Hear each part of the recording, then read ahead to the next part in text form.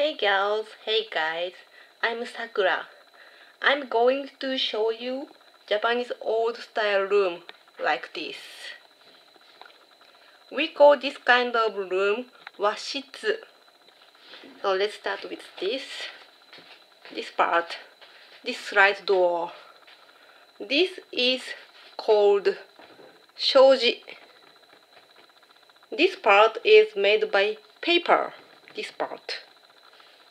It's harder than usual paper, but still it's easy to get some holes. So if you poke like this, I don't do that, but it's very easy to make a hole.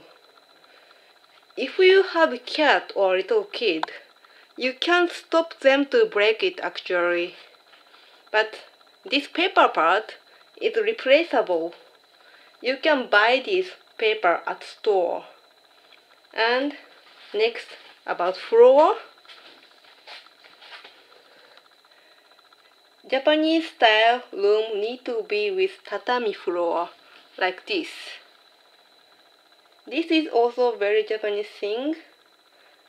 Can you see tatami surface? It's made by igusa. Igusa is a kind of plant.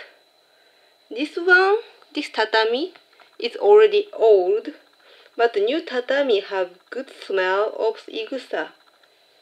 And as you can see, this room has six tatamis. To describe the size of the room, we use how many tatami can fit in the room.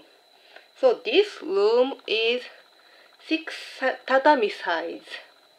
And next, here, this slide door.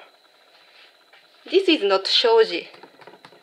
This one is called fusuma. The surface is also made by some kind of paper, but not easy to break like shoji.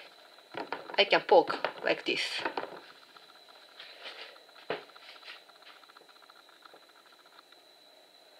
And uh, there is one more same style room with this.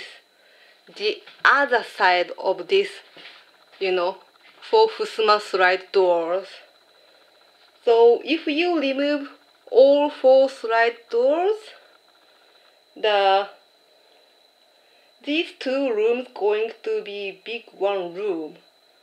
This is one of the future of old Japanese house.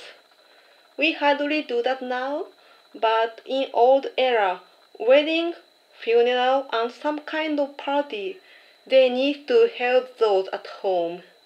So big room like this was needed.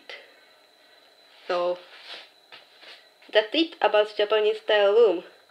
If you have questions, please send a comment to this video. See you next time.